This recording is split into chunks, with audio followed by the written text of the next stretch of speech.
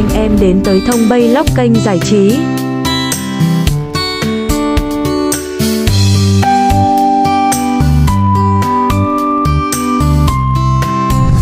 Chúc cả nhà xem clip vui vẻ.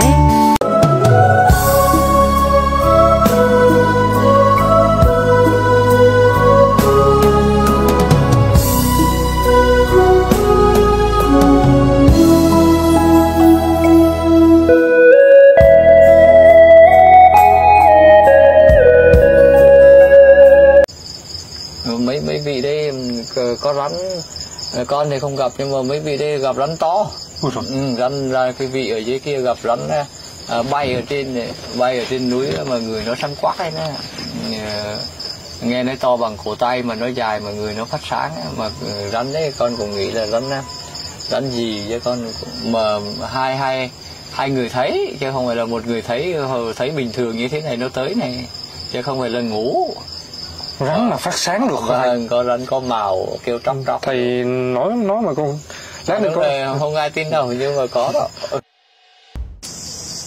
con thấy hình như cái tảng đá này có sự thay đổi gì không thầy Nó vẫn y, y nguyên đó. sao con thấy nó thấp hơn hình như Không cái cái này do cái trên ván này ngồi trên cái tấm ván á một chút á dạ là nó nó thấp hơn thế á.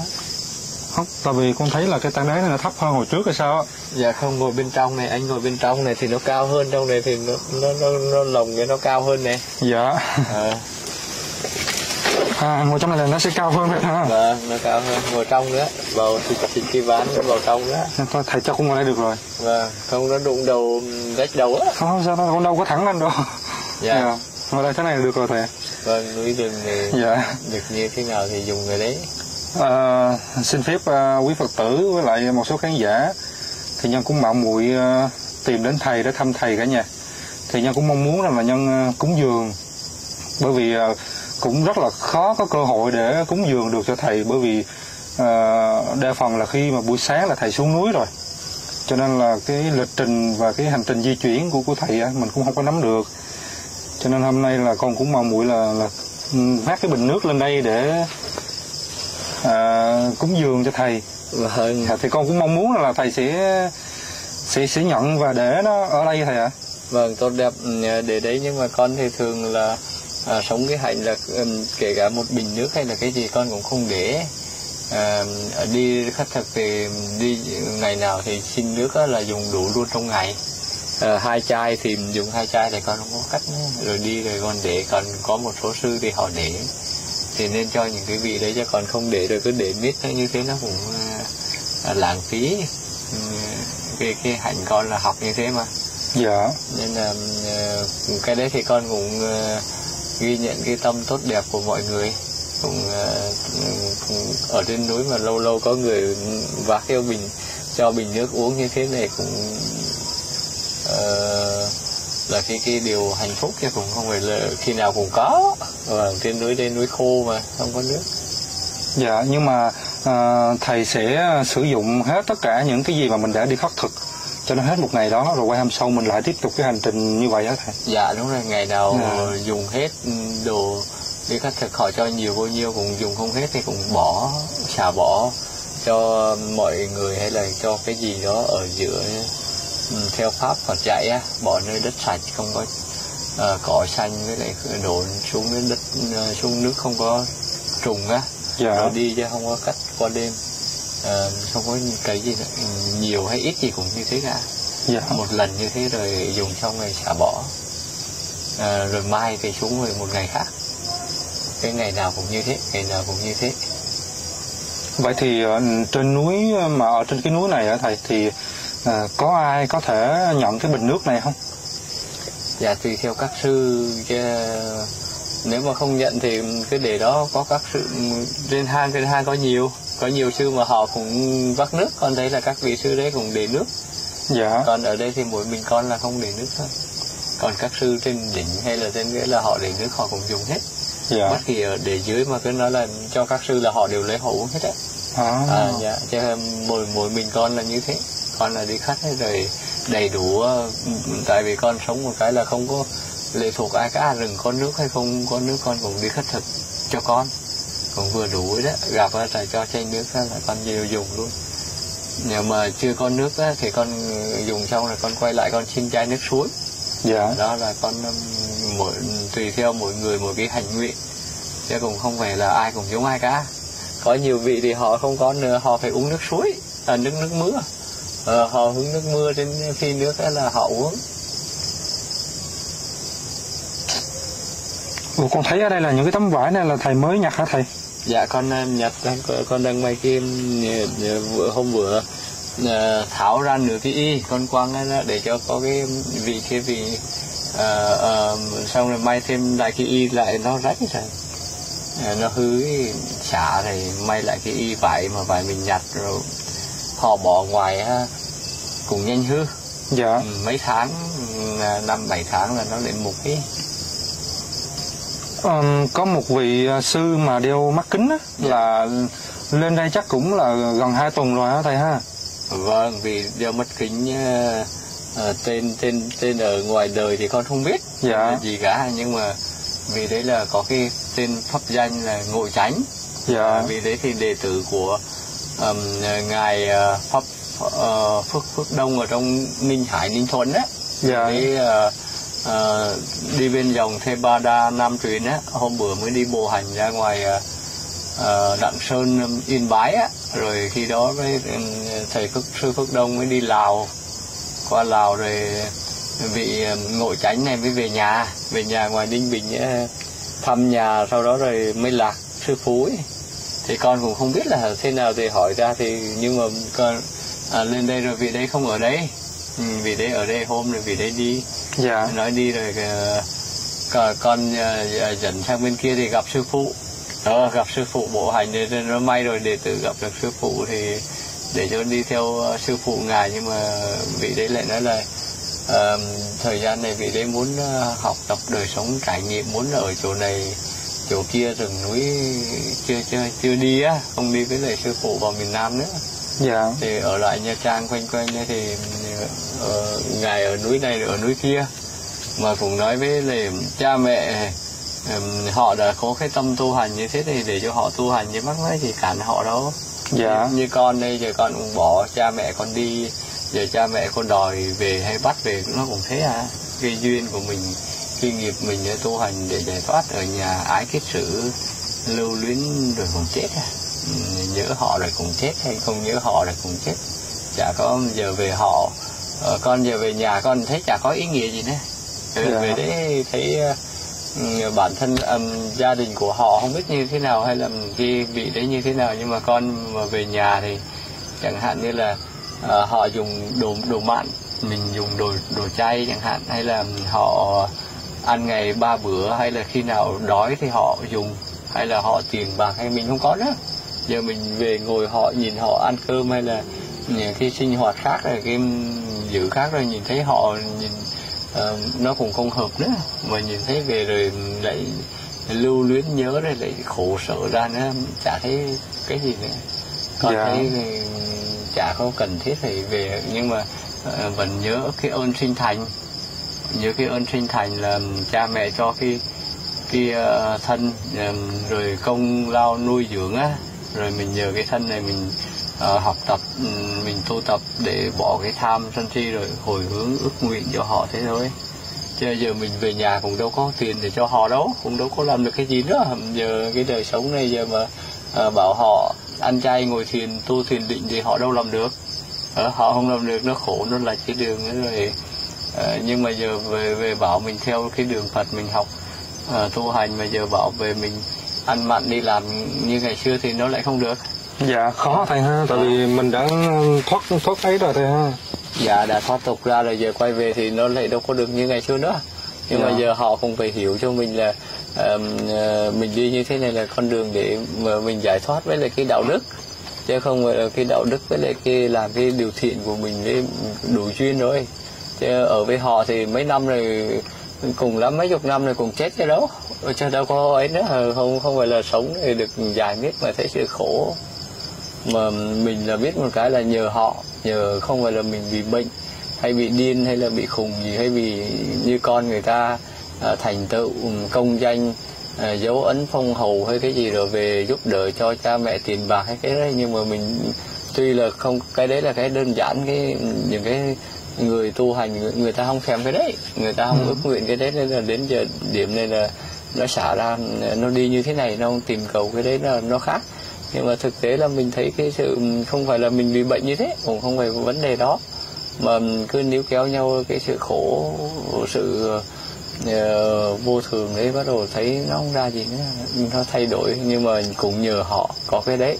Ờ, mà nghe nói như thế này ờ, Phật dạy nói là nếu mà mình không nghe được Đức Thế Tôn uh, lời dạy của Phật á, mà làm á thì như con đối với uh, hiện tại bây giờ thì cũng uh, ở nhà rồi cũng làm cái việc gì đó đơn giản rồi uh, báo hiếu cha mẹ rồi phụng dưỡng họ tuổi già như thế rồi uh, chờ cho họ chết đi rồi mình cũng đi tu à rồi như thế. Nhưng mà khi mà mình nghĩ đó là thôi chờ họ như thế rồi lỡ mình chết mất ấy không kịp nữa. Ờ, theo cái lời Phật dạy thì mình báo ơn Đức Phật trước mình làm theo cái điều đó. Ờm, có được công đức rồi, rồi mình hồi hướng cho họ theo cái đường đó thì mình ờ, Đức Phật dạy nó là báo ơn được cho họ trả nợ được ơn sinh thành thì con làm thôi. Ai cũng thế à con cũng nghĩ như thế. Cha mẹ giờ có đi tìm con lôi con về cũng thế à. Nếu mà còn không á thì thôi ờ, họ mà có này nọ nữa thì trả mạng á thì ờ, họ giết ấy rồi mình cũng sanh lại người khác mình lại đi tu à. Dạ. Dạ nó không có mình làm con của nhiều đời rồi nhiều người rồi chứ không phải là một mình cha mẹ hiện nay nữa.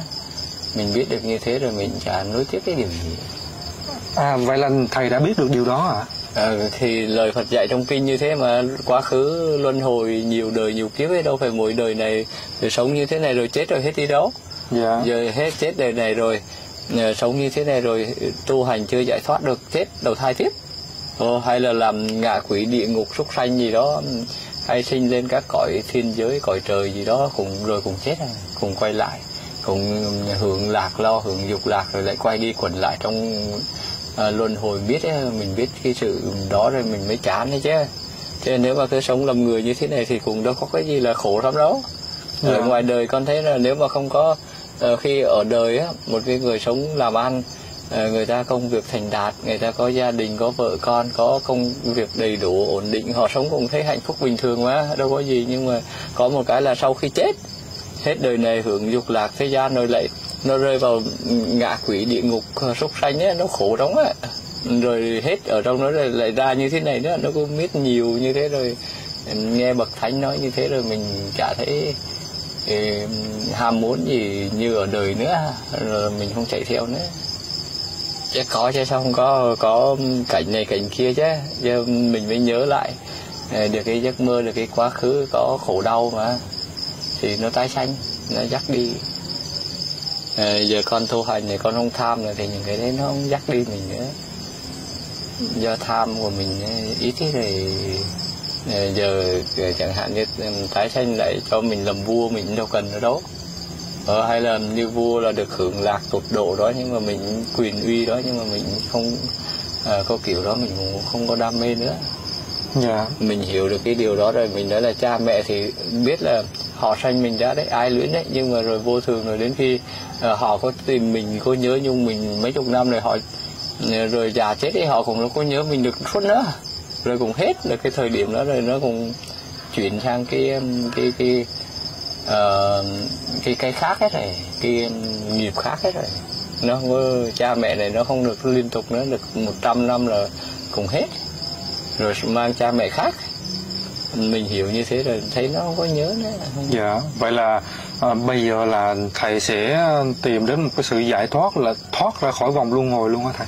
Cái đấy mình học ờ, nói để thoát ra vòng luân hồi thì cái đấy to lớn phải học tập nhiều đủ Ờ, công đức phước đức á, rồi khi đó đủ thiền định giới luật rồi mới làm chủ được mới đi. Còn giờ mình đi là mục đích là mình hiểu biết được cái sự đời ừ, à, sơ lược là sự như đức phật nói đó. Sự hiểu rồi bắt đầu à, lên đường à, kinh sách ấy rồi lên đường học tập à, giới đức giới hạnh ừ, giữ giới bố thí cúng dường đức thế tôn ấy. Rồi làm theo đó để đi theo đi, đi hướng tâm vào đạo giải thoát. Gieo nhân gieo duyên có cái chủng tử đó rồi thì mình không lo nữa. Lúc nào mình cũng ờ, thoát ờ, cố gắng để ước nguyện thoát khỏi cái uh, ba đường ngạ địa ngục ngạ quỷ súc sanh đấy. Rồi mình hướng đấy thì không ai lợi phá mình được nữa không ai chặn được mình nữa. Dạ. Uh, tiến tới rồi tiêu diệt uh, bỏ uh, đừng có tham sân si nữa với lại ngủ nghỉ nữa. Giảm ấy ở ở đơn giản như thế này không tranh đua với ai nữa không hơn thua không có tiền bạc không có cái gì nữa. Giờ sống nay chết mai mình cũng vui vẻ. Mà có giờ tôi chưa thành có chết rồi nó cũng mang thân khác rồi cùng tu tiếp. Ờ, không sao cả biết như thế rồi hướng con đường giải thoát. Dạ vậy thì bây giờ đối với thầy là những cái giấc ngủ nó có còn không? Hay là một con vẫn ngủ chứ vẫn Ừ. ngủ. Nhưng mà khi ngủ rồi thấy nó ngủ nhiều quá con cũng không muốn nữa. Tại vì mình cũng vì ham ăn ham ngủ. Lúc nào cũng lo ăn lo ngủ rồi lo Ờ, cái này lo cái kia rồi lo hưởng dục. Ấy thế là nó huân tập đi nhiều ăn mòn ở trong tâm rồi giờ những cái đấy mình không tiêu trừ được. Nhưng mà mình biết đây ờ, vẫn niềm tin ở Đức Phật á. Ừ, ờ, tuy là thấy khó bỏ nhưng mà Đức Phật vẫn đấy ờ, có thể bỏ được. Ngài dạy thì mình vẫn niềm tin theo uh, theo ngài theo um, Phật với thì các vị thánh tăng mình học tập thôi. Như con thì mục đích nó là để đạt thiền định hay là cái gì cái kia thì chưa có nhưng mà mình vẫn tin theo cái niềm tin đấy cái đức tin đấy rồi mình nó là Phật bài cho có thể bỏ là mình lên đường mình học tập tập uh, noi theo làm theo giữ gìn những cái đấy. À, à, học đời này chưa xong học tiếp. Ờ, cũng không phải là một đời này là học được. Học Phật không phải là dễ. Nói thì nói dễ thì cũng dễ mà khó thì cũng khó nhưng mà do nghiệp của mình làm nhiều điều, điều ác nhiều rồi ở đời mình thất sanh mình làm những cái điều chửi mắng người ta rồi mình hơn thua rồi công việc của mình cái nghiệp của mình nó thúc đẩy á nó tạo cho mình nhiều rồi giờ nó ăn mòn trong rồi giờ mình cố cố tẩy nó không có. Giờ ngồi thiền như thế này mà à, nói đố ai mà nói nghĩ về những cái năm tháng mình đang sống ở đời đây à, đang thời kỳ đi học chẳng hạn hay là thời kỳ Ờ, thanh niên thiếu niên nó sống nó làm sao những cái ký ức đó mình quên được? Nhưng mà ờ, mình ngồi rồi những cái đó nó vẫn hiện về thì mình vẫn còn phiền não. Mình chưa đi vào được nhưng mà sống lâu dần rồi nó nhàm chán nó quen rồi thì khi đó ờ, những cái đấy nó có tới là cũng không ý nghĩa gì với mình thì nó ở trong cái trạng thái giảm phiền não cho mình. Mình không dần dần rồi nó ở trong cái à, cái cái trạng thái đó thì làm cho mình nó không ít khổ ấy nó không khổ như ngày xưa nữa. Ừ, không có ăn không có uống. Đi khất thực ờ, họ không cho hay không mình cũng không có vì thế mà làm cho mình ừ, chạy về nhà nữa. Mà mình phải có cái nghị lực chứ không cũng phải ờ, kham nhẫn chịu khổ thì có thể vượt qua. Vượt qua được thì sẽ tiến tới được cái sự giải thoát thì tốt đẹp. Tốt Dạ. đẹp dạ. Thì ờ, cái lúc chiều mà trên đường con ờ, từ trên đỉnh á Dạ. con đi xuống gần đến đây rồi thì khi mà con nghe các sư trò chuyện với nhau á vâng. thì ờ, con có nghe được là ừ, loáng thoáng là về ba la mật. Thì ba la mật là cái gì thầy? À, ba la mật là những cái hạnh nguyện của họ. Họ ước nguyện họ làm những cái mà đừng có cho ai biết. À, kín đáo của mình hay là như à, bố thí ba la mật thì giới ba la mật những cái ba la mật mà thuộc về những cái vị nào đó họ nguyện như chẳng hạn như họ nói là uh, tu tinh tấn họ phát nguyện là những cái thành tựu của họ. Uh, những nói chung là công đức của họ đấy. Um, phước báo của họ công năng của họ đức độ của họ giới hành của họ uh, mà họ còn khiếm khuyết họ làm cho đầy đủ uh, những cái ba la mật đó rồi thì khi đó ừm, phước của họ viên thành thì họ đi vào thì họ đầy đủ những cái uh, công năng của họ họ cần thiết. Cái đó là những cái phát nguyện của họ. Uh, họ hành trì thì những cái đó như ở bên đại thừa à, hay là bên kinh sách à, diệu pháp liên hoa chẳng hạn hay là có sáu ba la mật hay là có chỗ thì nói 10 ba la mật đấy để tu thành chánh đẳng giác hay là tu thành bích trì phật hay là cái gì đó. Có cái thời gian có cái công năng của họ họ tích lũy. Họ tích tích lũy công đức của họ. Ừ, cái đấy thì cũng ờ, tùy theo những cái vị phát nguyện hạnh nguyện bồ tát hay là cái gì đó họ ờ, thực hành ba la mật hay là nhẫn nhục uh, ba la mật ừ, tinh tấn ba la mật thì những cái đó là ở trong Phật pháp á ai hành trì theo thì có. Nhưng mà cái đấy viên mãn rồi thì sẽ thúc đẩy được cái thiền định trí tuệ thì nó uh, phước báo nó cao ừ, công đức nó nhiều thì nó uh, dễ dàng đem đến thúc đẩy con đường uh, hoàn thiện cái uh, sự thành tựu của cái cái cái ước nguyện của cái vị đấy. Như giải thoát hay là ừ, chánh đẳng giác hay là bích chi phật á những cái đường ấy dạ vậy thì ờ, trong suốt những cái cái hành trình mà thầy ờ, đi tu tập và ẩn tu như thế này thì thầy đã nhìn thấy cái cái mục đích cuối cùng của cái việc tu hành của mình không? cái mục đích thì đã thấy rồi. Cái mục đích là ngày xưa mình nghe kinh sách ấy mới đầu tiên là đã hình thành tất cả mọi cái mình có mục tiêu mình mới đi. Khi đầu xây dựng cho mình chẳng hạn như mình uh, ngày xưa đang nhỏ đi học hành thì mình chưa biết đi học để mục tiêu gì cả nhưng mà cái đấy là cha mẹ với lại người lớn hướng dẫn cho mình đi rồi học sau này để lớp 1, lớp 2 rồi cấp 2, cấp 3 rồi đi học như thế này rồi có văn hóa rồi vào các trường đại học. Sau này ra xin việc công việc á thì đã định hướng.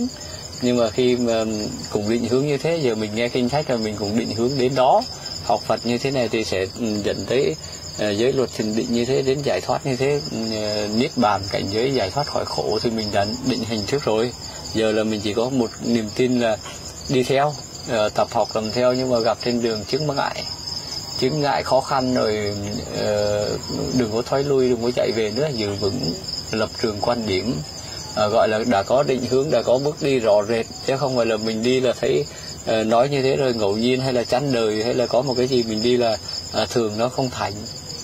Mình phải xác định mình nói theo đây là mục tiêu của mình đây là con đường của mình phấn đấu đạt được à, siêng năng ở để đạt được cái gì cái gì thì đã có như con thì đã có sẵn trước.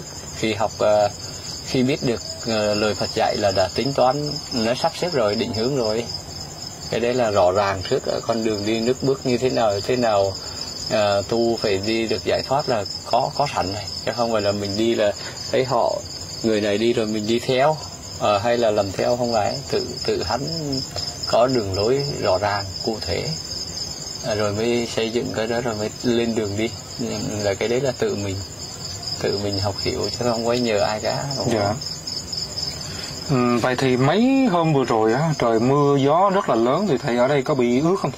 Ở ở chỗ này thì tảng đá nhỏ như thế này ờ, không ướt được nhưng mà cây mưa từng ngày là người tu núi ở trên rừng trên núi mà có được cái như thế này là may mắn lắm rồi. Ờ, hạnh phúc tu núi mà được miếng đá để tránh mưa mà cái chỗ đây thì nó cũng không ướt. Cô ngồi sát đá nó không ướt được. Dạ, nếu mà thầy ngồi sát vào gốc này là không không ướt không? Dạ không ướt, bão cũng không ướt. Ồ. Bão ờ, đợt ờ, cây bão số 6 ấy, nó cũng không ướt là gì được.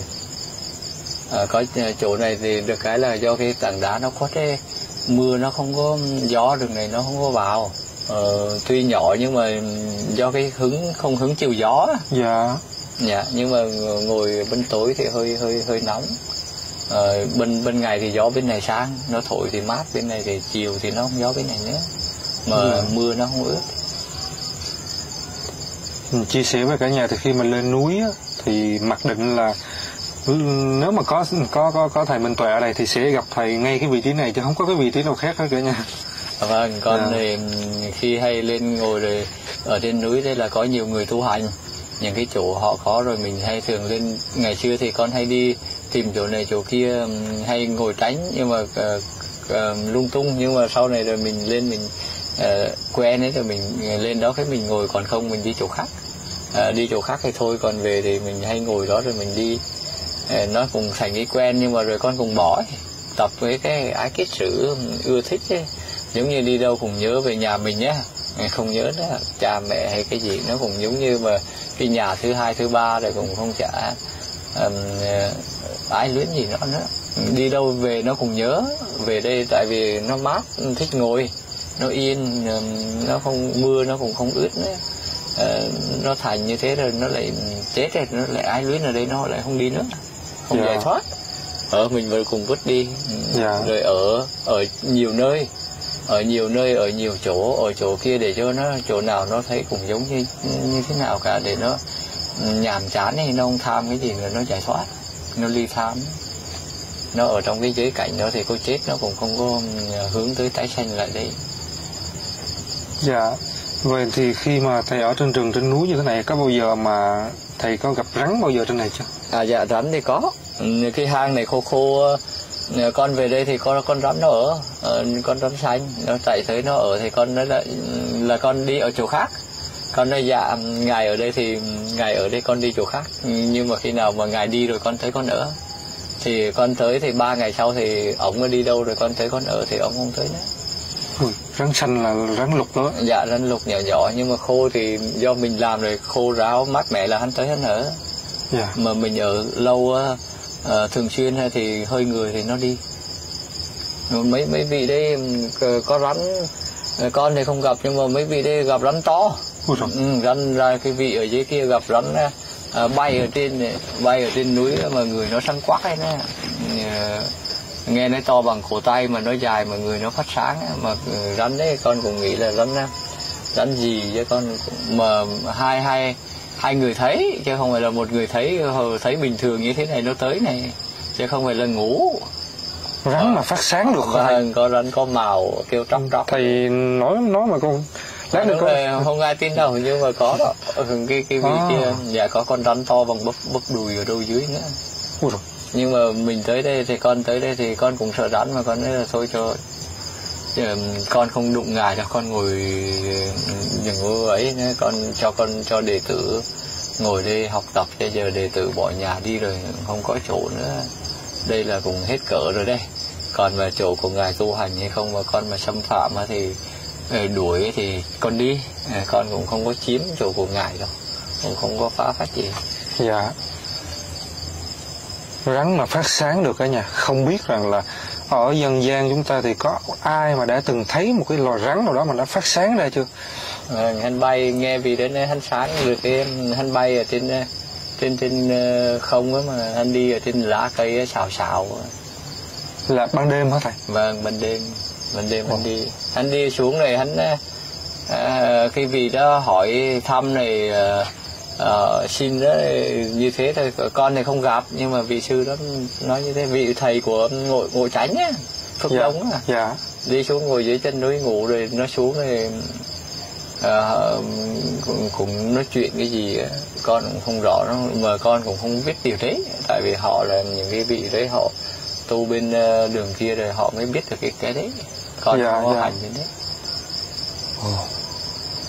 thì ờ, thường thường là những cái ngọn núi mà có hang á, thì khả năng là cực cao là sẽ có rắn ở. Vâng. Dạ. Núi nào cũng có rắn nhá núi nào cũng có. Bất kỳ kể cả rắn này ờ, ở ở chỗ nghĩa địa mà thấy trống trơn á, đồng ruộng đấy cũng có rắn. Cũng Dạ. có rắn to chứ không là không có có có điều là nó ở đâu á, mình không có nhìn thấy được. Nó ở trong hang trong hầm á, nhưng mà những cái loài rắn ấy nó cũng không có ăn thức ăn giống như này dạ. Nó nó cũng tu hành gì á. là có một số loài là sẽ tu hành trong hang đó thầy Vâng, ờ, có một số rồng rắn ấy, trong kinh con cũng nói Đức Thế Tôn cũng nói là rắn ở đây nó nó giữ giới nó tu mà cũng có. À vậy là cái loài mà nó có có cái màu đó nó thầy. Vâng, vâng, có là cái nó- màu đó gọi là thuộc rồng ờ, chuyển hóa rắn gì đấy nhưng mà họ thì họ hiền họ không có cắn đâu dạ họ không có ấy có điều mình nhìn thấy rồi mình sợ khiếp đi rồi mình không dám ở nữa con thấy là kiến bữa nay nó lên trên này nhiều là thầy thì nó có cắn thầy không Vâng, kiến đấy có, nó cũng cắn nhưng mà mình ngồi quen rồi, hắn ờ, kiến đấy nó cũng biết. Và mình ờ, thỉnh thoảng mình chỉ có sợ hắn lên rồi mình ngứa rồi mình xoa sát xanh nhá, chết Dạ. nó thôi chứ còn mình ngồi yên để nó nó cũng chả cắn mình. Ừ, những cái thời gian đầu thì thầy bị mũi cắn nhiều và những cái thời gian xin càng về sau này thầy có bị mũi đốt nhiều nữa không thầy Dạ mũi chứ, mũi mũi chúng sanh mũi thì mình ờ, tu đạo lực những vị nào thì chưa biết nhưng mà con thì chưa từ bi được với mũi. Ai mà đạt đến từ bi được với mũi thì nó không cắn á. Với lại ờ, con nghĩ là mình có ờ, duyên với nó thì nó mới cắn nhưng có một số vị thì cũng không nó cũng ít cắn. Tại vì tất cả mọi ừ, cái của mình đây là đều do duyên cả mình có nhân gì duyên gì giờ tới nó mới tìm tới mình chứ không có nhân có duyên nó không tới. À. Dạ có nghiệp có nghiệp với nó thì nó mới tới nó cắn mình. Cũng giống như là khi mà chúng ta đi trên đường tự nhiên vô tình con chó nó tới nó cắn thầy ha? Vâng có có À. nhân duyên với nó. Bao nhiêu người nó không cắn mà tự nhiên nó đè mình nó cắn. Đúng rồi nó cắn người đó là chắc chắn là mình có nghiệp gì với nó có nợ nần gì hay là thù hằn kẻ thù gì đó hay là nó ừm, đời trước ờ, hay là nó nguyện đem công đức nó ờ, đến nó cắn người này nó giết người này chẳng hạn thì nó nguyện hay là đòi mũi cũng thế hay là tất cả mọi cái đều có duyên hết. Nhưng mà khi mà mình ờ, hóa giải được ừ, từ bi được thì nó không thể cắn mình được nữa. Nhưng mà tất cả mình đều do nghiệp dẫn tới cả. Nên Dạ. là dạ đều do nghiệp Ờm, anh cứ yên tâm đấy tất cả mọi cái là đều do nghiệp kể tại vì bây giờ anh gặp con này con có trốn kiểu gì cũng không được rồi cùng gặp á cái nghiệp Ừ. nhân quả cái duyên này không có tránh được cái phước khăn có tới ừ, cũng không có tránh được hay là cái phước phước của người đó giải thoát hay là cái phước của người đó tu thành Phật ừm, hay là làm vua à, rồi hắn cũng làm vua chứ không chạy trốn được ờ, cái Dạ. phước cái nghiệp á, cái nghiệp về chết hay là cái nghiệp bị bệnh bị bệnh chết Ừ, rồi hắn cũng bị bệnh chết rồi cũng cái nghiệp cái hắn cũng thúc đẩy chứ cũng không vì thế mà né. Né sớm muộn rồi nó cũng cái khác là cũng chết. Vậy là ờ, cái đích đến của mỗi con người chúng ta đó là cái chết. Vậy thì bây giờ ờ, làm như thế nào đó để chúng ta không còn sợ cái chết nữa thầy? Ờ, cái ai thì ở trên đời thì ai cũng chết thôi không có phải là ai rồi cũng kể cả như như lai ờ, đạt thành kim cương đó rồi họ cũng chết đó mà cũng vô thường chết thôi. Nhưng mà khi họ đạt rồi họ không có uh, họ không chết nữa họ không có sanh nữa là không chết nữa ở trong niết bàn của họ thì không bao giờ họ vĩnh cửu trong á. Ờ, được đường đi tới đó là mình không bao giờ bị chết nữa nhưng mà không không phải là vào niết bàn là hết là ấy nó vẫn như thế. Ai cũng nói nghĩ là chết đến đó là vào là hết rồi. Nhưng mà ở trong đó là nó an lạc nó hạnh phúc ở trong đó không có đau khổ nữa. Nhưng mà họ đã chấm dứt luôn là không không phải. Vẫn có cái cảnh giới riêng ở đó. Dạ. mà, ờ, mà chỉ có những cái người đạt đến ờ, tâm ly tham bỏ từ bỏ tham sân si không có chạy theo dục lạc hiểu biết theo cái lời Phật dạy thì sẽ được vào đó thôi. Là con đường là phấn đấu con đường đó đấy là không sanh không già không chết. Nhưng còn mà mình một đời người ở đây là sanh ra là sẽ chắc chắn phải chết mà chết thì đau rồi đau khổ vật vả không không biết là ờ, đối phó. Thế nghe nói cái chết là con cũng chính vì cái thế sợ chết đấy con mới lo tu hành để mình không chết nữa. À, rồi mình đâu có đau nữa.